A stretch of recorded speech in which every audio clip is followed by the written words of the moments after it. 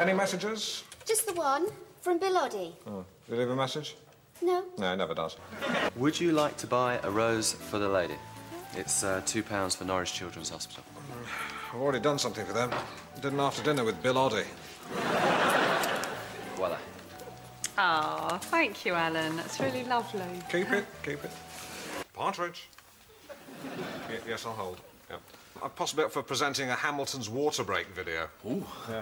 You know, the Norfolk Broads. Hi. I'll tell you how I found out about this job. Uh, Bill Oddie was... Sorry, uh, hello? I tell you, it's a good job you weren't here five minutes ago. Listen, listen to this. Listen, listen.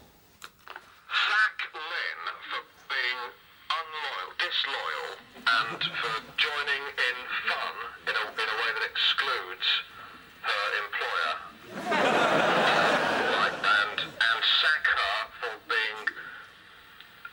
an absolute idiot and an inefficient. Lynn, can you call Bill Oddie and... Something else. Actually, can I have a look at that list? I want to get to the bottom of this. Mr. G String, Mr. Nick Hurst, wife, Y front. Yeah. Mr. T Osser, doesn't even work. Mr. B Oddie, this is Bill Oddie. It's not a crank call. Why, why have you put it down there? Well, we thought it looked like body.